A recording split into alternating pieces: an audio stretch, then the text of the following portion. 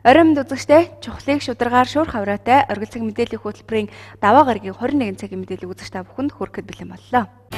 Мэдээллийн хөтөлбөрийн түнш Метро Экспресс. За өнөөдөр аймгийн иргэдийн төлөөлөгчдийн хурал хуралдлаа. За хурлаас бэлтгэсэн дэлгэрэнгүй мэдээллийг одоо үзэж та бүхэнд хүргье. Амжилттай зохион байгууллаа. Аймгийн хэмжээнд гэмтэргээс урдчлан сэргийлэх болон нийгмийн дэг журам, сахилга, хариуцлагыг сайжруулах талаар баримтлах бодлогыг өнгөрсөн онд баталсан. За энэ нь дөрвөн бүлэг 40 залттай бөгөөд 2017 он хүртэл хэрэгжих юм. За тэгвэл уг хөтөлбөрийн хэрэгжилтийн явцын талаар аймгийн иргэдийн төлөөлөгчдийн хурлын тэргүүлэгчид хэлэлцлээ. За хөтөлбөр хэрэгжснээр танхай, хулгай, булаах, дээрэмдэх гэмт хэрэг тус тус буурсан үзүүлэлтээ гарсан гэж аймгийн засаг даргын намын газрын хууль зөвлөлтөөс мэдээлж байна. За гэхдээ уг хөтөлбөрийг хэрэгжүүлэхэд төрийн болон төрийн бас олон байгууллага оролцож байгаа тул хэрэгжилтийн үр дүнг хувь хэмжээгээр илэрхийлэх боломжгүй байна гэлээ. 2017 он гэхэд аймгийн хэмжээнд гэмтэргээс урдчлан сэргийлэх болон нийгмийн дэг журам сахилга хариуцлагыг сайжруулах талаар баримтлах бодлогыг 100% хэрэгжүүлэхэд хийх шаардлагатай хэд хэдэн асуудал байгааг нь за тодруулбал одоогоор хотын камерын нэгдсэн хяналтад 180 гаруй камер ажиллаж байгааг 300 болгох хэрэгтэй. Түүнчлэн жаргалан цомонд болон Эрдэнэт булганы автозамд хяналтын пост байгуулах шаардлагатайг онцлолоо. За аймаг цэцгийн 2012-аас 17 оны бүрийн хөслөж зөвшөөрсөн. Энэ дагуу цагдаагийн үйлчлэл ингээд олон нийт шуугаа үржүүлээд жаргалан цом баян өндөр сумын гол бол цагдаагийн компани ашиглан байрыг байр ашиглалтанд оруулах. Энэ ажил бол зайлшгүй шаардлагатай. За мөн хөтөлбөрийг хэрэгжүүлэхэд оролцож буй байгууллагууд хийсэн ажлын үр дүнгээ аймгийн засаг даргын намын газрын хууль зүйн хэлтэст тайлагнах хэрэгтэйг сануулсан юм. За мөн аймгийн цагдаагийн газрын замын цагдаагийн засгийн зохицуулагчийн тоог нэмэгдүүлэх хэрэгцээ байгаа гэд. Түүнээс гадна олон нийтийн цагдаагийн алба хаагчид ажиллуулж эхэлсэн нь үр дүнгээ өгч байгаа гэлээ. Тиймээс олон нийтийн цагдаагийн орон тоог нэмэгдүүлж замын хөдөлгөөний аюулгүй байдлыг хангахад оролцуулах саналыг холбогдох байгууллагаас нь дэвшүүллээ.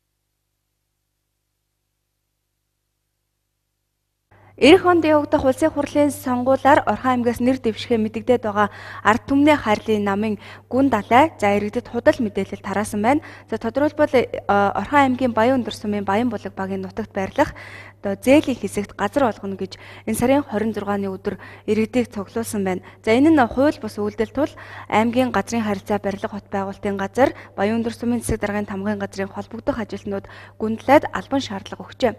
Гэтэл тэрээр аймгийн удирдлагуудад хандаж тухайн газрыг иргэдэд олох гэсэн шаардлагыг тавьсан байна.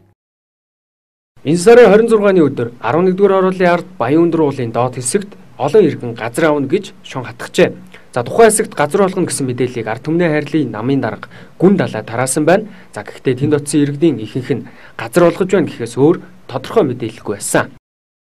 Газар авах гэсэн юм аа. Энд газар өгнө гэж гүн далайг ойл тэгсэн гэсэн. Та энэ мэдээллийг хаанаас авсан юм? Энэ олон нийтэд ийм зоргол тарахад шүү дээ. Хизээ сонссон та? Сая цагийн өмнө. Тэгээ шууд ирээд одоо ингээд шууд хэмжээ та газар авчих. Одоо тий. Одоо гэр газрын хатны нэрээр хэмжээ хэмжээр өгнө гэсэн. Хин газар өгж байгаа гэж сонсоод энд ирсэн бэ? Энэ болохоор нөгөө гүн далайн гişүн газар өгж байгаа гэсэн өгнө гэсэн нөө ер ер нь тэмцчиж л олж аавна гэж хэлсэн гэж хүмүүс би сая хүмүүсийг дуургаад нарийн ширийг мэдгүй тэр яг гэрт байгаа тэр хүмүүс л нарийн ширийг сайн мэддэг баг. Уулаасаа яхад энэ хүмүүс чинь энэгээр нэг хүмүүс олцсон байсан. Тэгээд энэ хүмүүс чинь хоорондоо тэгж ярьсан. Би тэр би гордос ингээд өгсөд энэ дагуу явжсэн чинь тэгээ ямар сайн сонирхол тэгэл ялгаа авахгүй хүн болгонд яаж байгаа юм чинь хийжлэг. Хин газар өгж байгаа юм бол энэ чинь? Гүндэл өгж байгаа. Та гүндэлтэй уулзсан уу? Уулзаа уулзсан. Юу гэж энэ өөрөө? Газар авгасан. Аа. Та тэгээд яг эндээс газар авч болох юм өнтер гэж лавлсан уу? Мэдгүй авал гэтэл авсан. Тэш мас мэдж байгаа үз. Энэ хүмүүс бэг давчаад би дураагаа лавлах явах. За газар болгож байна гэсэн мэдээллийн дагуу иргэд тухайн өдрийн 11 цагийн үед цуглаж эхэлсэн байна. Харин мэдээллийг тараасан гүн далаа 20 цагт тухайн газарт ирсэн. Очоод авна шүү дээ. Чи хэдэн хэдэн айлын газар ээ? Наа чи таамрын газар шүү дээ. Гэхдээ бидний газар. Тэгээд за. Авна авна. Тэрийг авал та. Хэдэн ч хүн байсан очоод ав. Бүгдээрээ тэгэл ороод авцгаа. За би явлаа. Би тий. А? За газрын албаныхны хараад айгаад зүхтааж байгаа хүмүүс өөлтгөөд явцгаа. За за за. За за. Эрдэнтийн Эрдэнтийн ногоон бүс хамаагүй. Ирчээд юм хараа. Гэхдээ тэгээ өөш газар авч чадахгүй бол тэгэл өөрөө явал та тэгэл тийм үү? Энэ баахан зард гаргаа эсвэл дараа нь бид нар охрно шүү дээ. Ядарчаад ядарч шүү дээ. За битэн юм дэми юм яар за. Өөрөө зүгээр юм авч чадахгүй энд авч чадхаа хүн авч чадахгүй тэгэл болж за. Зориг зүрхэхгүй тэгэл явцгаа. Зоригтой зүрхтэй навцгаа за юу. За, ав, ав, ав. Тэгээд За хоноод авалтаа та нар тий. Оо. Юу юм ин? Алдан мэдээлэл явуулж ажиллагаа Хин явуулж байгаа? Манай байгууллагын зүгээс. Энэ даргын Мандаватар юм уу? Газрын албаны дарга энийг шийддэггүй. За чи мэддэггүй. За. Аймгийн иргэдийн хурал засаг даргын бүр ихэд хаалдж Жиш за юу би байна. За тэгээ та нар зориг зөрөгтэй аавын хүүхдүүд байвал газраа аваараа. Чадахгүй чадахгүй чацаг захан цагаах юм бол тэгээд гэртээ харьцаа хараад унтцгаа. Авч чадвал надтай хамт газраа ав. Авч чадахгүй бол чацаг царайлаад явцгаа эндээс. Үнийг яагаад чицгаараа дууддаг юм бэ? Чи юу гэсэн үг вэ? Хоошоо. За тухайн газарт аймгийн газрын харилцаа барилгууд байгуулалтын газар Баян өндөр сумын засаг даргын хамгаан газрын холбогдох мэрэгжилтнүүд очиж энэ үйлдэлээ зогсоох шаардлага тавьсан. За учир нь 2013 онд аймгийн иргэдийн төлөөлөгчдийн урлаас баталсан Баян өндөр сумын гэр хороол хэсэгчилсэн ерөнхий төлөвлөгөөнд тусснаар 11-р хорооллын ард хэсэг нь хот орчмын ногоон бүс ангилалд багтаж нөөцөд авсан газар юм. За дээрх газар нь буюу Баянбулаг багийн нутагт байрлах зээлийн хэсэг нь манай хотын агаарын бохирдлыг нэгдүгээр бүс гэж үздэг байна. Учир нь тухайн хэсэгт одоо бий болоод буй суурьшил нь хотын агаарын бохирдолд нөлөө үзүүлэх хэмжээнд байгаа тул нэмж газар олгохгүй байхаар аймгийн иргэдийн төлөөлөгчдийн хурлаас шийдвэрлэжээ. Мөн Баян өндөр хайрхан бол орон нутгийн тусгай хамгаалттай уул Тиймээс худал мэдээлэл тараасан энэ үйлдэл нь иргэд олон нийтийн сэтгэл санааг үүмүүлж байгаагаас гадна аймгийн иргэдийн төлөөлөгчдийн урлаас баталсан тогтоолыг зөрчиж байгааг газрын харилцаа барилгот байгуулалтын газрын даргын орлогч онцолсон. За түүнчлэн энэ нь Орхон аймгийн засаг даргын бүрийн эрхэд халтсан үйлдэл гэлээ. Хот байгуулалтын тухай хууль болон газрын тухай хуулиараа үзэх юм бол энэ маань өөрөө хууль бус үйлдэлс болж байгаа. Нэгдүгürt энэ аймгийн эрдэнэ төлөвчдийн хурлын баталсан тогтоолыг зөрчиж байгаа. Хоёрдугаарт шинээр иргэдэд газар эзэмшүүлэх ашиглуулах асуудлыг аймгийн засаг дарга зархимжаараа шийддэг. Тэр нь хоёрдугаарт аймгийн засаг даргын бүр их талдчихж байгаа. А гуравдугаарт энэ иргэдийг энэ хууль бус үйл ажиллагаанд ингэж төрхирч ингэж буруу мэдээлэл өгсөн энэ үйл нөгөө бас харамсалтай үйл ажиллагаа болдог тань л. Тэгэхээр энэ үйл ажиллагаатай холбоотойгоор зохион байгуулж байгаа хүмүүст нь манай байгууллагын зүгээс энэ албан мэдээлэл хөрвүүлэхэд авчирсан боловч яг тодорхой хариуцж энийг гардаж авах нь одоохондоо За энэ өдөр цугласан иргэдийн хувьд холбогдох байгууллагуудад газар авах хөрөгдлөө өгдөг боловч шийдвэрлэгдэхгүй удаан хугацаа өнгөрдөг гэсэн тайлбарыг хэлж байлаа. За энэ оны хувьд Баян өндөр сумын Яргуйт Эрдэнэ Говьл багийн нутагт газар олгохоор холбогдох төлөвлөгөөнд туссан байна. За иргэдэд газар олгох ажил 5 дугаар сараас эхэлсэн бөгөөд энэ онд дахин үргэлжлэхгүйг нь. За энэ хугацаанд 700 гаруй иргэнд газар олгожээ. Ямар ч тач 11 дугаар хорооллын ард буюу Баянбулаг багийн нутагт байрлах зээлд газар олгох төлөвлөлт хийгдээгүй байна. Газар олголт маань 5 сарын 15-наас эхлээд нийт 700 гаруй иргэнд газар олголт хийгдээ дууссан байгаа одоогоор бол 9 сарын 15 гэдэг нь газар олголтын ажил дуусчихдээ шүү дээ. Тэгээд одоо дууссан байгаа. Энд бол газар олгохоор төлөвлөгөө тусгагдаагүй. За Бимб гаргаас эхэлж Баянбулаг багийн зээлийн хэсэгт иргэд гэр майхан барьж газар аавна гэж цуглаад байна. Тэгвэл даваа гарагт буюу өнөөдөр гүндалаа тэргүүтэн хүмүүс цэцэг даргын хамгаан газрын байранд ирж аймгийн удирдлагуудад хандаж тухайн газрыг иргэдэд олго гэсэн аман шаардлага тавьсан юм. За энэ үед засаг дарга дангаа сүрэн эзгүй байсан тул түүний орлогч инх баттай уулзсан. Түүнчлэн аймгийн ардчилсан намын дарга Батчимхтэй утсаар холбогдож тухайн газрыг иргэдэд өг гэлээ тусгайлчилж жоод уулзах өрөө мөрөө гаргаж байгаа тэндээ бүр тодорхой яг уулзаад яриа өөрөөгийн сонсоод ямар шийдвэр гаргахын тэрний сонсъё. Тэгэхээс одоо бид нар энд энд бол одоо шууд юу гаргахгүй байгаа учраас эхлээд бас яг захирамж гаргадаг хүнтэй дангасрын даргаыг хүлээн. Хэрвээ би газартаа бол намайг авч шоронд гэж газартаа ч ясаа яа тий ахад газар авахгүй бүр хүүхэд байсан. Заавал тэр хүүхэд юм ганцаа тэр өөрөө чинь газар бид нэг хөгийн хогийн газар л байна. Сайн сайн сайн амарч байна. Эрдэнэтэд байна уу? Улаанбаатарт байна уу? Улаанбаатарт байна. За би Эрдэнэтэд байна. Тэгээ би энэ инхбат засаг даргын орлогчийн өрөөнд төрж ирээд инкот өтөр юмэрээ сууж байна. Тэгээд юу Батчимгээ ийм юм а энэ Эрдэнэтийн иргэд газар авах гээд Тэнд одоо бараг 100-аад гэр нэлээд олон майхан зайхан барьчихсан байж байна. Алгаа тэнийлгээд газрын нөхчөөч гэдэг ийм л зүйлийг одоо тэр дангаа сүрэн нарын одоо энэ улс төрчид буюу ардчилсан намын одоо удирдлагад хэлж өгөөч ээ. Одоо өөрөө Эрдэнэтийн ардчилсан намын Орхон аймгийн одоо даргын хувьд. За та цогцоо хууль тогтоох байгууллагад хоёр дараалал ажиллаж хүйсэн юм байна үйлсээ та өөрөө сайн мэдчихэж байгаа шүү дээ. Бүх юм өөрийнхөө дагуу явах хэрэгтэй гэж тийм ээ. стресс илүү үеийн дагуу явах хэрэгтэй. Тэгээд хамгийн гол нь одоо орхон ариг бодоод газар их хүмүүс тэгээ одоо газрынхаа нөөцийг үзээ төлөвлөөд хуулийн дагуу иргэдтэй олох асуудлыг нэмэгдүүлье гэдэг орны хуулийнхаа дагуу хүмүүсийн төлөө хийгдээд явах хэрэгтэй. Та хуулийн ажиллагаанд хүмүүсээ тохирч болохгүй шүү. Ингээд чи байж шээ яаж ч гэдэг юм бэ? Би өдрийнхөө цаг уудаа би явлаа. Чиний хийж байгаа улс төрд би намайг оруулаад ирэхгүй л дээ заа. За Гүндалаг аймгийн засаг даргын хамгааллын газрын байранд ирэх үеэр иргэдийн төлөөлөгчдийн хурлын тэргүүлэгчид хуралдаж байсан юм. За тэрээр уг хурал дундуур иргэдийн төлөөлөгчдийн хурлын тэргүүлэгчдэд хандаж гэрээ барьж гад иргэдэд газар олго гэж мэдгдлээ. Угаасаа цагдаагийн дараа цаач байгаа. Явж байна. Цэгийг хоёр дүүрэлтэй байх энэ чиглэлийн одоо нарийнчсан ийм асуудлууд гарч ирж байна. Өмнө нь иргэдийн төлөвлөлтийн холбоотой бол еркэж Та нааш хүрээд. Ангийн иргэдийн төлөвлөлтийн хуулийн тэргүүлэгчдийн хуултаа явж байгаа. Бүгдээр ороод ороод. Тэгэхээр тэргүүлэгчдийн хуултааныг хэвээ явуул боломжийг олгож өгнө гэж. Хүрээд төлөвлөсөн хүмүүсээс хүсэж байна. Энд бол бас энэ жишээ төлөвлөсөн ажил гэж бас ойлгож байна. Хав мэ. Надад чи нэрээр таараа өрөөд. Бүгдээр өрөөд. Ханд бодлоо юм ичээд явъя да. Энэ бүлээг уугаад ахын бас. Би юу хийхээ мэднэ, хаана юу хийхээ мэднэ. Тий. Би энэ зэргийн жижиг ийм аймгийн хэмжээний их хурд байтугай улсын хэмжээний төрийн хэмжээний их хурлыг би 3 удаа тарааж өгсөн хүн шүү. Би зүгээр та нарт сандаа хилээд гараа явна. Би бүгдийг чинь мэдж байгаа. За юу. Арчилсан намын дэд дарга байсан хүн би. Тэр газрыг өгчөөч ээ та нар. Та нарын гарын үсгтээ та нарын бичиг очин шүү тэнд. Өгж байгаа хүн нь эцсийн шийдвэр гаргаж байгаа хүмүүс нь арчилсан нам шүү. За манай аймгийн хувьд газар нутаг багтаа гэдгээр онцлогтой нэг жишээ дуртахад Баян өндөр сумын засаг даргын хамгаалах газарт газар хүссэн 100000 гаруй иргэний өргөдөл хүлээгдэж байгаа юм. Ард түмний хайрлын намын дарга Гүндалаа энэ үйлдэлээр хилэдөө хуулийн зал зөрчиж байгааг газрын харьцаа барилгын байгуулалтын газрын мэрэгчлэтнүүд мэдэгдээд байна.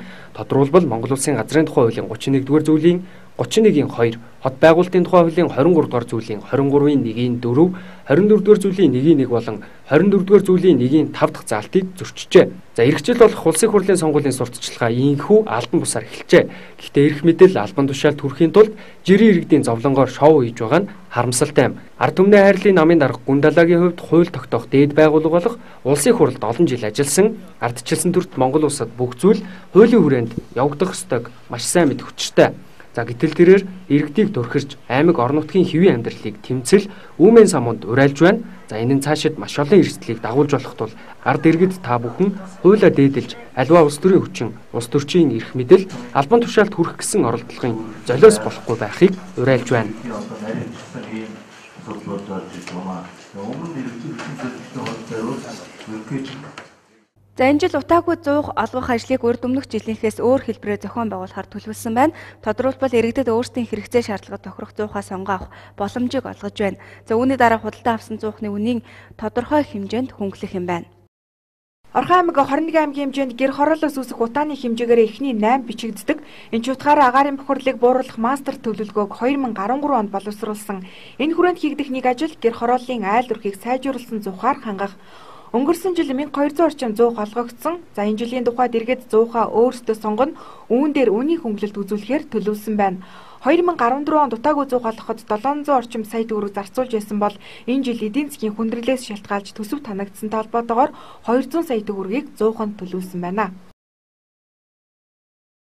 За өмнөх жилүүдэд бид нэр иргэдэд 100-ыг үнэгүй олгож утсан ба мөн тодорхой хэмжээний хөнгөлөлттэй үнээр бас олгож бас туршиж үзсэн байж байгаа. За энэ удаа энэ жил болоод бид нар Улаанбаатар хотод одоо зохион байгуулдаг зарчмын дагуу бас Орхон аймагта зохион байгуулахаар төлөвлөж байгаа. 9 жил бол бид нар 1300 гаруй зуух болвол иргэдэд бол олгогдсон. Одоо өмнө жил иргэдэд тараагдсан зуухнаас бас 100 орчим зуухын үлдэгдэл бас байгаа. Тэрийг энэ жил өргөжлүүлээд бас иргэдэд нодлонгийнх нь үнэ шаар бас олгоно. Энэ жил бол одоо бид нэр яг тэдэн зуух гэж одоо яг тоо гарсан юм бол байхгүй. Яг гэвэл бид нэр зуухыг урьдчилж бид нэр худалдаж аваагүй. Иргэд өөрсдөө 100-аа сонгож авна. Авна. Тэгээд тэр сонгосон 100-ных нь үнээс бид нар тодорхой хувийг нь хөнгөлөх учраас тэр нь ямар ч үнэтэй 100 байхыг бол бид нар уучлаад бол таах боломжгүй. Тийм учраас бол тоо нь бол одоохондоо тодорхой биш байгаа. Одоо ер нь бол энэ 2015 онд бол нийтдээ 8 төрлийн 100 болоо лабораторийн туршлагаар яг одоогийн байдлаар тэнцсэн байж байгаа. За дахиад одоо энэ энэ 7 хоногийн сүүлээр 10 сарын одоо 10-ын дотор дахиад одоо лабораторийн туршилтанд орсон зуухнууд бол байгаа юм билээ. Тэдний дүн бол 10 сарын 10-ны дотор бол гарна. Тэгэхээр зэрэг нийт хичнээн зуух тэнцсэн байх нь бол 10 сарын 10-аас хойш бол тодорхой болно. Тэгээд иргэд тэр зуухнуудаас өөртөө сонгож авах учраас үнэ нь бол харилцан адилгүй байна. Аа. Уулын тэр чих зүгөө зоох байх лээ. Явтааг бол халд мал сайтай юм байна. Энэ хот өрөөнд дүү хүмүүсд аваад тавьчихсан их сайхан дулаахан зоох байх лээ. Уулын тэр цаа олдгол тэр шаммал авал зүгээр л юм байна багуудад өгж байгаа бол. Тий. Нөгөө бүгдээр нь олгочвол нутаагүй зох сайхан нэг сайхан байж дээ энэ гоёс одоо сүүлийн 2 3 жил бас яг утаатай болмоор өнгөтэй болчиход байгаа шүү. Утаагүй тавьчих юм бол сайхан онголоод байх. Өвлийн дүнд бол манай эдэн чинь утаагүй байдгаас одоо ойрын 2 жил бол энэ утаатай болцлоо л дээ. Яг өвлийн дүн галж байгаа үед бол Агарын бохирлыг бууруулах хүрээнд хийгдэж байгаа гол ажил гэр хорооллын айл өрхийг утаагүй зуухаар хангах, энэ ч утгаараа чамлахааргүй мөнгө зарцуулж иргэдэд утаагүй зуух олгож хөнгөлөлт үзүүлж байгаа юм. Холбогдох байгууллагаас 100 холголтын талаар холбогдох байгууллагаас 100 холголтын дараа айл өрхүүд утаагүй зуухыг хэрхэн үр дүнтэй ашиглаж байгаа нөхцөл байдалтай өнгөрөгч хавар танилцсан байна. Ингээд яваад үзэхэд бол ихэнх айлууд бол авсан зуухаа тавьсан байгаа А зарим нь бол зориултын дагуу үнэхээр яг зориултын дагуу галлаад тийм ээ ашиглаж байгаа ийм айл өрхөд бол түлшний хувьд хэмнэлттэй, цэвэрхэн, үнэргүй гэдэг ингээд ам болол үнэхээр сайтай байгаа.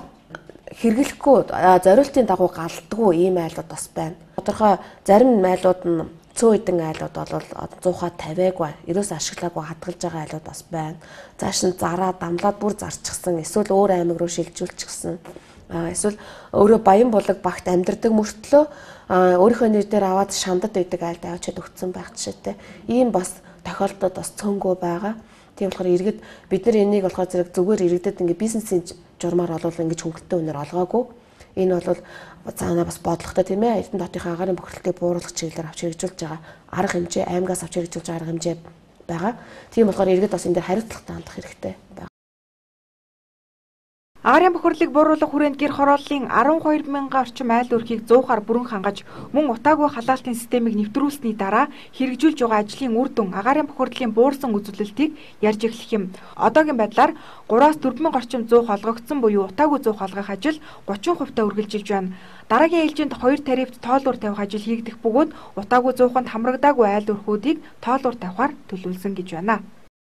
За сүүлийн өдрүүдэд цаг агаарын нөхцөл байдал хүүтэрч цас ихээр орж хөрсөн дээр цочор хүүтэрсэн. За цаг агаарын энэ төлөв одоо цаашид ч мөн үргэлжлэх төлөвтэй байгаа учраас малчит тариаланчдын үйлжилтийн бэлтгэл ажлын явц болон цаг агаарын болзошгүй нөхцөлд бэлэн эсхийг тодрууллаа. Юуны өмнө өнгөрөх 7 хоногт орсон их хэмжээний цаснаар манай аймгийн малчит болон тариаланчид үр тариа алдах, хадлан тэжээлийн бэлтгэл саатах гэх зэрэг ноцтой хохирол амцаагүй гэдгийг аймгийн хүн сүдэн аж ахуйн газраас мэдээлж байна. За энэ онд аймгийн хэмжээнд 7800 тонн байгалийн хадлан бэлтгэл хийх ёстойгоос 9-р сарын 25-ны байдлаар тус ажил 64.2% гүйцэтгэлтэй явагдаж байгааг хэллээ. Аа энэ 25-ны байдлаар хадлан бэлтгэлд үндсэндээ нэг 64.2%-тэй явж байна. Аа манай баян өндөр сум нэг 1800 тонныг, жаргалант сум нэг 3221 тонныг ингээд аймгийн хэмжээнд 5021 тонн байгалийн хадлан бэлтгэхэд байна. За аймаг сумын аюулгүй нөөцөнд бас бид өвс бэлтгэх ёстой. Баян өндөр сум нэг 42 тонн өвс бэлтгэжээд байна. Жаргалант сум нэг 85 тонныг бэлтгэсэн. Ингээд үндсэндээ нөөцийн өвсний бэлтгэл нэг 56.5%-тай явж байгаа. Ер нь нийтдээ бид нэг аймаг сумын аюулгүй нөөцөнд 230 тонн өвс бэлтгэх ёстой. Одоогийн байдлаар бол 130 тонны бэлтгээд байж байна. За аймгийн аюулгүй нөөцөнд 30 тонн өвс бэлдэх ёстой. Өнөөдрийн байдлаар бид 20 тонн өвсийг нь бол одоо яг газар дээрээ бол татаж ирээд байна. 10 тонн өвсийг нь бол өнөө маргааш үргэлж татнаа. Ингээд аймгийн одоо аюулгүй нөөц бол бүрдэж дуусна. За энэ онд 4698 га талбай тариалалт хийснээс 9-р сарын 25-ны байдлаар 2833 га талбайд шууд хураалт хийж 3400 тонн улаан буудаа хураасан байна. За төмөс 255.8 га тариалсан бөгөөд 141.2 гаагаас 1027.9 тонныг хүнсний ногоо 199 гад тариалснаас одоогийн байдлаар 148.5 гаагаас 1107 тонн ургац тус тус хураа авсан байна. За түүнчлэн өнгөрөх 7 хоногт орсон хэмжээний цаснаас өмнө улаан буудаан хураалт харьцангуй сайн явагдсан байсныг хэллээ. Ингээд дүгнээд хэлэхэд бол нэг үр тариа нэг 75.3% тай төмс 56.4% тай хүнсний ногоо 75% тай тэжээлийн ургамал 12.3% тай үл явж байна. Ингээд цаашдаа бол хураалтын ажиллагаа бол үргэлжлээ явж байгаа. Одоо бид нар хурааж аваагүй үлдсэн юм бол манжин байна, улаан ловон байна, байцаа байна төмсийг үл ерөнхийдөө бол хураагаад авчихсан. За улаан буудаан хувьд бол сая 23 дөрөвний үед цас орсон шүү дээ тийм ээ. Цас орохоос өмнө бол манай аж ахуйн нэгжүүд ерөнхийдөө бол улаан буудаага авцсан байсан. За бүтлийн ундраг компаниг 50 гааг одоо босоо тариатай байсан. Орхон тариа компаниг 25 орчим гаа тавиалаа. Алтан точлоо яг босоо нэг 100 гаруй га, ангилчихсан нэг 100 гаруй га үлдсэн байсан. За бусад аж ахуйн нэгжүүл ерөнхийдөө бол бас авчихсан байж байгаа. Одоо ингээд нар гарах юм бол одоо нөө маргааштай бол үлдсэн хэсгийг бол хураагаад авчихна. Үр тарианы хувьд бол За цаашдаа 9-р сарын 29-30-ны өдрүүдэд манай аймгийн нутгаар хүйтэн бороо, нойтон цас орж шуурах төлөвтэй байгаа учраас тариа ногооны хураалт дутуу байгаа аж ахуй нэгж байгууллагуудад хураалтын ingжлийг төргөвчлөх үүрэг даалгаврыг өгсөн байна. Өвлжилтийн бэлтгэл ажлын хүрээнд аймгийн хэмжээнд 12 баг ажиллаж байгаа бөгөөд 10 дугаар сарын 10-ны дотор өвлжилтийн бэлтгэл ажлын нэгдсэн мэдээ гаргах төлөвлөгөөтэй байгаажээ. Цахилгаан эрчим хүчний үн үе шаттайгаар тогтмол нэмэгдэж тог цахилгааны мөнгө өндөр гарлаа гэж бид бухимддагч цахилгааны зардалаа багжуулах хэмнэх боломж бидэнд байгааг мэдээлж байна. Ямарваа нэгэн гэрэл асаж байгаа тохиолдол бүрд цахилгаан гүйдэл урсаж байдаг байна. Тухайлбал хэрэглээгүй үедээ зурагтаа байнга цахилгаанаас нь гүйцэд салгаж явах хэрэгтэй. Учир нь удирдлагаар асдаг зурагт асаагүй байсан ч улаан гэрэл асаж байгаа тохиолдолд цахилгаан хэрэглэж байдаг байна. Иймээс ашиглаагүй үедээ цахилгаан хэрэгслийг гүйцэд салгаж явах, за ашиглахгүй байгаа ч залгаатай оргисон цахилгаан хэрэгсэл өөрхийн цахилгаан хэрэглээний 20 орчим хувийг эзэлдэг байна.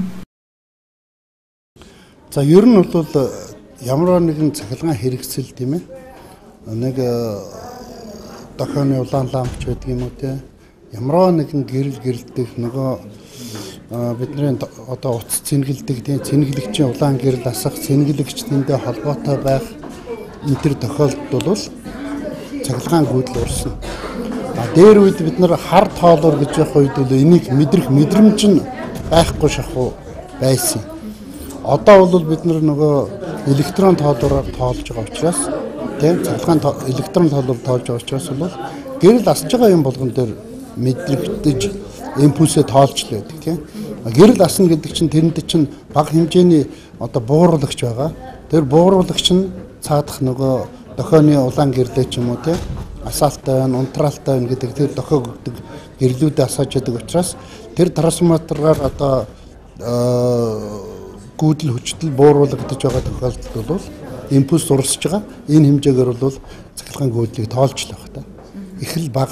Гэхдээ олон юм нийлээд ирэхээр зэрэг те гол болчдөг шүү дээ. Олон булаг нийлэхээр те. Тэгээ нэг булгийн төдий юм бол арай нэг гол олон юм нийлээд 10 ширхэг одоо зурагт баахан тэндгүү нөгөө удирдлагуудаа залгаж орхиол ингээл замбраагүй хэрэглээтэй байх юм бол мэдээж хэрэг те. Тэр болгоны гүйдлийг тоолно. Тэр болгон чинь нийлээд их л гүйдэл болно шүү дээ. Цахилгаан хэрэглээгээ хянаж өрхийн зардлаа бууруулахын тулд бид өөрсдийн ашигладаг цахилгаан хэрэгслээ зөв хэрэглэх, эрчим хүч бага зарцуулдаг бүтээгдэхүүнүүдийг сонгох хэрэгтэй нь харагдаж байна. Хэдийгээр энэ нь харьцангуй бага хэдий ч та бидний сард төлөх мөнгөн дээр өөр ашиггүй зарцуулсан цахилгааны мөнгө тодорхой хувийг эзлэх учраас өдөр тутамдаа цахилгаан хэрэгслүүдэд бүрэн гүйцэд салгаж хөвших нь хэмнэлт болж чадна гэдгийг хэлж байна. Монголын оюун ухааны академи Орхон аймагт үйл ажиллагаагаа явуулаад 1 жил болжээ. За 1 жилийн айн баярын хүрээнд тус төвд суралцсан сурагчид, эцэг эхчүүд болон багш ажилтнуудаа сурсан зүйлсээ тайлагнаж ой тогтоолтын гайхамшигаас хуваалцсан байна. Монголын оюун ухааны академийн салбар манай аймагт 2014 оны 9 дугаар сарын 27-наас үйл ажиллагаагаа эхлэж байсан бөгөөд 5-аас 18 насны хүүхэд багчуудад ой тогтоолт, чээж бодолт, рубик шоу, спорт үрэлт гэсэн дөрвөн төрлөөр сургалт явуулж энэхүү нэг жилийн ойтойгоо залгаж байна. За хүүхэд багчуудыг багаас нь ой тогтоолтыг сайжруулах, улмаар улс болон дэлхийн хэмжээний тэмцээн уралдаанд оролцох ой тогтоолтын тамирчлыг бэлтгэх зорилго бүхий Монголын оюун ухааны академийн Орхон аймаг дахь салбар нь олон талд сургалтаас гадна хүүхдийн оюун ухааны судалгаа хийдэг. За нэг жилийн хугацаанд тус академид 400 гаруй хүүхэд суралцсан төгсжээ. Түүнчлэн Монголын оюун ухааны академийн орхон аймаг дахь салбарын төгсөгчид томоохон тэмцээн уралдаанд оролцож чамгүй амжилт үзүүлээд байгааг хэлж байна. Жавхлан тамир намсан хоёрыгоос За бид нар 2015 оны 3 сард болсон цээж бодлтын улсын аврагчлал тэмцээнд за манай Орхон аймгийн салбарын суралцагч гээ гал зориг хүрэл медаль хүртсэн байгаа. А мөн ой тогтоолтын үндэсний аврагт бол манай суралцагч Зэ намуу маань бас маш амжилттай оролцож за 2 3 медалийн болцол хангасан байгаа. За 2 мөнгө медаль, нэг хүрэл медаль авсан байгаа. За тэгээд ер нь бол яг гэхээр бид нар энэ хугацаанд бас чамлахааргүй амжилт үзүүлснээс гадна за суралцагч хүүхдүүд маань ер нь бол за хичээл номдоо маш илт сайжирсан. За За ялангуяа бага ангийн хүүхдүүд бол ер нь цээжэр тоог маш хурдтай бодож сурахаас гадна за ой тогтоол сэтгэхгүй нь ер нь бол давхар хөгжсөн ингээд эцэг эхчүүдээс бид нарт яасан гэхээр маш сайхан мэдээг өргөж байгаад бид нар бас баяртай байгаа. За энэ нь болохоор яасан гэхээр бидний бас нэг ажлын үр дүн байгаамаа. За бид нар бол яг гэхээр 6 дугаар баг сургуулийн нэг анги дээр бол яг гэхээр спорт өрөлтийн сургалтыг бас зааж сургаж энэ нэг ангид бол бас хурд хүчийг мэдрүүлэх гэсэн энэ гайхамшигтай хөтөлбөрийг хэрэгжүүлээд явж байгаа. А одоо ер нь бол яг хөөөр цаашлаад болохоор бус сургуулиудаа бас нэг юм хамтарч ажиллах гад бас ингээд эхнийхээ сургуулиудаа ер нь бол ярилцаад ингээд гэрээ хийгээд ингээд явж байгаа. Тэгээд За бас цэцэрлэгүүдэд бас манай хөтөлбөрүүд хэрэгжиж байгаа. За цэцэрлэгүүдэд бас манай спорт өрөлт, рубик шоуны бас сургалтуудыг явуулахаар бас бид нар ярилцж байгаа. Монголын оюун ухааны академийн Орхон аймаг дахь салбарын 1 жилийн ойн арга хэмжээний үеэр сурагчид сурсан мэдсэн зүйлсээ эцэг эхчүүдэд харуулсан бөгөөд тус төвд сурснаар сурагчид хичээл номдоо саажирснаас гадна хүүхдийн хүмүүжил төлөвшөлд эерэг өөрчлөлтүүд гарч байгааг суралцагчид болон эцэг эхчүүд хэлж байна. А за манай хүүхдээ яваад одоо нэг 14 л хонж байна.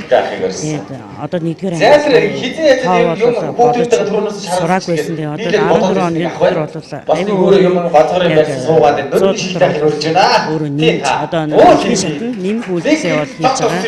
Аюу сурахаар юм байлаа манай хүүхдээ бол. За одоо ингэдэй чиндээс сонголоо. Аюу сайн хүүхдийг яг сургая, хүүхдийг одоо яг мэдүүлье гэсэн Бид дуудаасаа гэсэн үнийг дууддаг юм да гэж байна. Сургая гэсэн ажлын юм шиг санагдсан. Манай ч одоо 14 хүн. Яг сайхан морь өрөө урд суудсан байна. Айгуу тийм сайн. Бодлого болсон. Би одоо өөр хүртэл хараад баярлаад бас гайхаж байгаа. Энэ оюун ухааны академид явдаг. Одоо живэл 2 сар явж байгаа тийм ээ. 2 сар явж байгаа. Оо их өөр юм блэ. Би бас хүүгээд хэмжээ сууж байна. Тэгэхээр толгой тарих бодох чадвар, сэтгэх бодох чадвар бүгд аюул сайжирсан байна. Одоо би өөрийн нүдээр хараа сууж байна. Би оюухан ахтанд яваад нэг жил болж байгаа. Аа тэгээд энэ хугацаанд бол оюун ухааны аргачлал, цээжлэх аргачлалуудыг бүгдийг сурсан байгаа. Одоо л ирэхэд тамирчны төрөлд хийж байна. Жишээлбэл хичээлээр бол ингээл хичээлээр бол ингээл дараа дараа цээж цээж чадна. Өшөө тэгэл ерөн цээждэх юм байл тэгэл ерөн бүгдийг цээжлэнтэй. А нэг жил хичээж байгаа. Тэгээ энэ хугацаанд болохоор би нөгөө хүзэр цээжлэх, тоо цээжлэх, хийд зүйл үг цээжлэх, дүрх цээжлэх гэдэг нэг олон юм сурсан. Тэгээ энийг цээжлснээр нөгөө хичээлдээ маш сайн болсон. Нөгөө тоо цээжлэх, шүлэг цээжлэх, дууны үг цээжлэх тийм юм байна. Намайг Бүжтмаа гэдэг би 6 настай. Оюун актемд одоо хэдэн хэр удаан сурж байна? Нэг энэ хугацаанд юу юу сурч чаддаг болсон бэ? Нэг жил сурж байна. Шайлуулахыг сасан бас нөгөө өрөө Манай жоохон чимээгүй байгаараа. Чээж баталтай.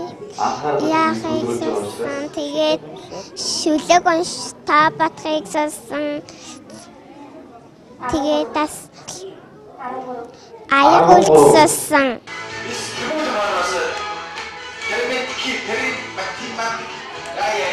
Баярлалаа. За хүрээлэн өргөмсөл хэлэмжээ. Одоо үзэгч та бүхэн сэтгүүлч редактор Атруурийн бэлтгэсэн тодруулга болон хүлээвч үзнэ.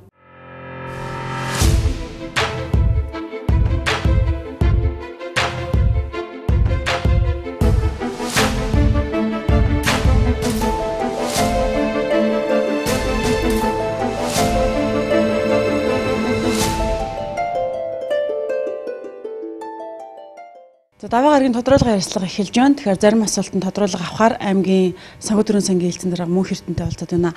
За өнгөрсөн 7 хоногт сангийн амнаас гинт таталт хийлээ гэсэн юм мэдээлэл бас гарсан. Тэгэхээр төрийн албан агч нарын цалин одоо олгохдохгүй нэ гэсэн юм бас ташаа мэдээллүүд иргэд олон нийтийн дунд бас бий болоод байна л да. Энэ дээр одоо та аль биесны хариулт өгөхгүй сангийн ам ямар одоо санхүүжилтийг татсан юм бэ?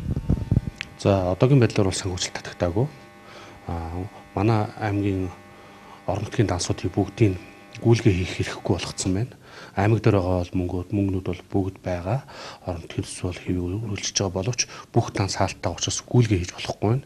За улсын төсөв хүндэрсэнтэй холбоотойгоор бас орон нутаг болон улсын төсөв дээр байгаа мөнгнүүдийг бол татах арга хэмжээ аавна гэсэн мэдээлэл бол өгч исэн. А тэгээ улсын төсөв хүндэрж байгаатай холбоотойгоор бас илүү мөнгө одоо хөрөнгө оруулалт хийгдээд төсөл арга хэмжээ хэрэгжээгүй гэрээ байгуулгадаг бүх асуудлууд бол татагдана. За одоо энэ 10 11 сард бол хөрөнгө оруулалтын ажлууд хийгдэхгүй гэсэн байдлаар хөрөнгө оруулалтын мөнгнүүдийг бол татах тийм бодлого явж байгаа юм байлээ. Гэхдээ цалингийн гүйлгийг бол бүгд хийгднэ. Цалинг бол эхний ээлжинд хийгдээд дараа урсгал зардал тогтмол зарлуудыг тухай тухай үед нь бол нээж явна гэсэн чиглэл өгсөн байгаа. За өнөөдрийн байдлаар бол сангийн яамтай холбогдож болохгүй байна. Бүгд нууцны хаалттай байна. Ер нь бол одоо асуудлыг бол хөндрүүлэхгүй байх гэж бодож байна. А тэр тэргүй манай аймаг бол бус аймагуудыг бол өөрийн орлогоороо төсвөө санхүүжүүлдэг аймгийн нэг байгаа учраас одоо манай дээр бол яг орон нутгийн төсвийн манай мөнгө бол даасанд байна. Хамгийн гол нь гүйлгээ хийх эрх хаалттай байна. Энэ энэ талаар одоо бид нар бол ярилцаад бол сангийн яамтай холбогдох холбогдоод нь ойрын хугацаанд бол зөх хэмжээнийхээ гүйлгээнүүдийг хийх бодтой байна. За ялангуяа бол хөрөнгө оруулалтын гүйлгээг бол хийх хийх талаар бол ярилцж байна. Ялангуяа энэ бол бас би бас компаниуд болон энэ одоо барилга захиалагчийн алба, хотын захиалагчийн алба, газрын харилцаа хот байгуулалтын газрыг бол одоо компаниудыг хурдан шахаж ажиллаа хийлгүүлэх шаардлагатай байна. Тийм учраас одоо энэ хөрөнгө оруулалтын ажлууд маань хоошлогдох энэ онд санхүүжүүлэхгүй их үүсвэрн татагдах ийм нөхцөл байдал үүсэж байгааг бол удаа дараа сануулж байгаа. Энэ талаар бол дөрвтэй арга хэмжээ авах хэрэгтэй. А тэрнээс гадна бас компаниудыг ажиллаа хийгээд дууссан тохиолдолд хурдан улсын комиссийг ажилуулах шаардлагатай байна. Нэг хүн байхгүйгээд тэр ажлыг хойшлуулах ерөөсөө хэрэг байхгүй. А нэг хүнийг орлох тэр хүнийг бас гаргаж ирээд улсын комиссийг хурдан ажилуулж энэ компаниудын ажлыг түргэжлэх шаардлагатай байна. Энэ дээр бол барилга захиалагчийн алав, газрын харилцаа хот байгуулалтын газар, хотын зарчаа албанууд бол тодорхой үүрэг даалгавар өгдөд цэцлэгээс явагдаж байгаа. Энэ дагууга бас одоо аль болохоор хурдан энэ ажлуудыг хийлгүүлж санхүүжилтээ хурдан авч явахгүй бол асуудал одоо 11 12 сар улам хүндэр нэгдгийг бас тодорхойлж хэлмээр байна. Тэгэхээр усан төсөв ер нь болвол танах хямнах химнэх гэдэг юм уу тал руугаа ажиллаж байгааг энэ үед бол бас өнгөрсөн лоногт ерөнхий сайд улс төрийн одоо дээд албан тушаалтангуудын цалин 30% хүртэл одоо тий бууруулах ийм арга хэмжээг автаж ил гэдэг чиглэлээ өгсөн байгаа. Зөвхөн манай аймагт энэ 30% хүртэл одоо бууруулах гэдэг юм уу тийм чиглэл ирсэн үү? Улс төрийн албан тушаалт үнэхээр бас хамаарахгүй байх уу? За улс төрийн өндөр албан тушаалтан гэдэг чинь бол улсын хурлын гишүүд, яам тамгын газар нөгөө тэр нөгөө дэд сайдууд ингээд том албан тушаалтнуудыг хэлж байгаа л гэж бодож байна. Тэгэхээр энэ аймаг руу бол яг тийм чиглэл бол шийдвэр гарч ирээгүй. Гадаад томилтын зардлыг бол 100% одоо хасах гэдэг ийм чиглэлээр бол өнгөрсөн оноос эхэлж ажиллаж ирсэн байгаа шүү дээ тийм ээ. Тэгэхээр энэ нь одоо яг хэрэгжиж байгаа болов за дээр нь одоо орон нутгийн нэг томилтын зардлыг одоо бас бууруулах гэсэн чиглэлтэй ажиллаж байгаа. Зүгээр эдгээр дээр ямархуу одоо хэмнэлтийн бодлогод бас явагдаж байгаа болоо. За 15 оны төсөв дээр ерөөсөө бүх төсвийг 30%-аар тансан байна сангийн яамдаг чарт. Яг тэрнийхээ тэр төлөвлөгөөнийхээ дагуу явж байгаа бензин тосны зардлаа тэгэл одоо гадаад томилтыг өөрөөсөө тэгээд дотоод томилтын хөлтийг бүгдийг 30%-аар таасан гадаад томилтыг бүр тийг болгосон байгаа. Тэр дагуу бол одоо манай төрөөсөн үйл ажиллагаа явуулж байна. Тэгэхээр нэг бас нэг юм мэдээлэл юм л да. Тамгын газрын одоо ажилтнуудыг нэг сарын цалингаар урамшуулах гэсэн ийм асуудал яригдж байгаа гинэ гэсэн. Тан дээр ийм мэдээлэл ирсэн байгаа болов уу? За одоогор тийм мэдээлэл ирэг байна. Хэрвээ цалин хөлсөн дээр хэмэлт гарах юм бол уг ажилтнуудыг урамшуулах гэж засгийн газрын тогтоол гарцсан байгаа. А нэмж бол ажилтаа авахгүй уг орон тоог хэмнэж тухайн ажил албан дээр гүйцэтгэж байгаа ажилтныг бол урамшуулнаа гэсэн тийм засгийн газрын тогтоол гарсан учраас яг тэр дагуу хэрэгжин одоогоор манай таван газрын цалингийн зардал бол хэмнэгдээгүй явж байгаа. Тэгэхээр урамшуулах ойлголт бол байхгүй болов гэж бодож байна. Босоо удирдлагатай байгууллагуудын хувьд хүндрэл авчирж байна гэсэн мэдээллийг хэвлэлээр дамжуулан бас өгсөн тухайлбал улсын бүртгэлийн хэлтс одоо бичиг хэргийн зардлыг тансантай холбоотойгоор маш их асуудлууд хүндэрж байна гэсэн. За газрын харилцаа барилгат байгуулалтын газар гэхэд л одоо бензин шатхууны одоо бас хэмнэлт хийж байгаатай холбоотойгоор ажлыг одоо хурдан шуурхай агуулгадаас хүндрэл авчирж байна гэсэн асуудлыг ярьж байгаа. За за ер нь бол яамна санхүүждэг байгууллага бидний хэлж байгаа босоо удирдлагатай шууд дээрээс удирдлагатай байгууллагуудын зардал бол бас 30%-аар тансан байгаа. Тэрнийхээ дагуу өмнө мөчөг татчиг хүрдэг байсан урсгал зардлын санхүүжилт маань энэ жил дээр өшөө дахиад 30%-аар буурчихлаар тухайн байгууллага дээр одоо нэг үйл ажиллагаа явуулахад 130 мянган төгрөгийн бензиний зардал хүрэхэд 130 мянган төгрөгөөр тэр байгууллага үйл ажиллагаа явуулна гэдэг хүнд а яг хуу тогтмол зардал бол уур ус дулаан цахилгааны зардлууд бол гайгүй хэрэгжиж байгаа боловч бичиг хэрэг энэ шатхуун батхууны зардал маш багаар төлөвлөж ирж байгаа. Бас одоо бараг л ер нь бол өөрөө явж ил бүх ажлаа хийнэ хөхөөс бол бичиг хэргийн цаас масыг бол бараг тоолж өгж байгаа. Тийм л байдалтай бол одоо санхүүжилтүүд явагдаж байна. Эрдэнэт үйлдвэр дээр одоо үн унсан за энэхлээс шалтгаалаад улсын төсөвт одоо өгдөг тэр хөрөнгө мөнгөний хэмжээ бол багаслаа. За дээр нь одоо Орхон аймагт бол шууд хамааралтай эрдэнэт үйлдвэрийн эдийн засгийн байдлыг ийм байгаа нөхцөлд бид бас яах ёстой вэ? За ер нь бол хэмнэлтийн гормол баримталж ажиллаж байна. Одоо тэгээ бас их улсын төсвийн хөндөрсөнтэй холбоотойгоор бол улсын төсөвт орох орлого маань хүндрээд эхэлсэн байгаа. За нутгийн төсвийн орлогын төлөвийг бол давж биелж байгаа. А нутгийн төсвийн орлого давж биелнэ гэдэг чинь бас манай аймгийн хөрөнгө оруулалт их зэрэг ажлууд бас цаашдаа үр дүнтэй явна гэсэн үг. А гэвч одоо улсын төсөв ийм хүндрэлтэй байгаа тохиолдолд манай тайлан тэзлийн ашгийг татах арга хэмжээ авагдана. Тэгэхээр одоо дараачны хөрөнгө оруулалт гэдэг бүх ажлууд зогсно гэсэн үг. А одоо энэ шийдвэр нь яг ямар төвшөнд явж байгаа улсын төсөв хэр хүндрэлтэй байгаагаас шалтгаалаад одоо орон нутгийн төсөвт байгаа мөнгийг нэгсэнтөө манай бидний ярьдгаар шилжих үлдэгдэл буюу тайлан тэнцлийн ашгийг маань татах юм бол манай хөрөнгө оруулалтын ажил орон нутгийн хөгжлийн сангаалт хэмжигдэхээс өөр аргагүй байдалд хүрэх хэмжээнд хурж магадгүй гэсэн төсөөлөлттэй байна. А тийм байдалд хүрэхгүй үүднээс одоо явахыг л одоо бид нар хичээж ажиллана. Тэгээ улс орны эдийн засаг хүндрэлтэй бол тэр төргөө манай мөнгийг татаж авах болоо гэж үзэж байна.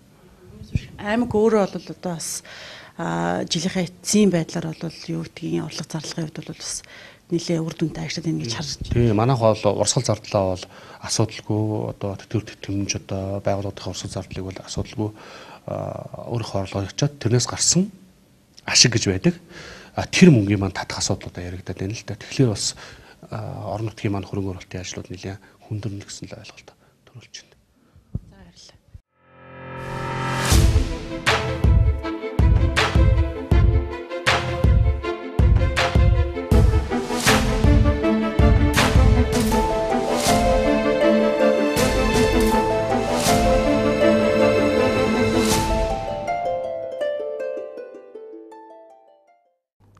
Баярлалаа үзэгчдээ өнөөдөр Орхон аймагт болж өнгөрсөн онцлог үйл явдлуудаас иргэдийн санал хүсэлтийн дагуу түргэн шуурхай үнэн ботоогоор мэдээлэл бэлтгэн хүргэлээ. Үзэгч та бүхэн хөтөлбөрийн төгсгөл тус цагуур орчны шинжилгээний албанаас ирүүлсэн маргааш өдрийн цаг агаарын мэдээлэл хүлээн авч үзээрэй. Таны маргааш ажилуулст амжилт хүсье.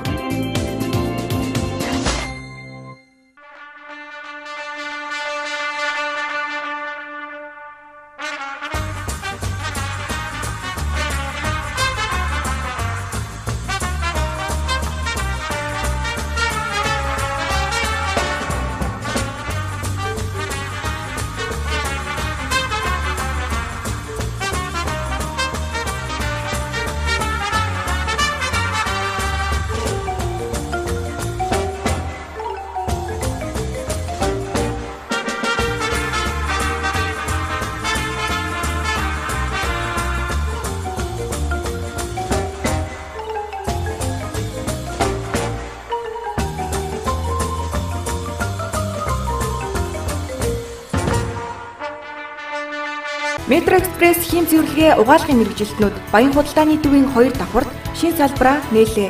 Бид танд хамгийн чанартай үйлчилгээг үзүүлнэ.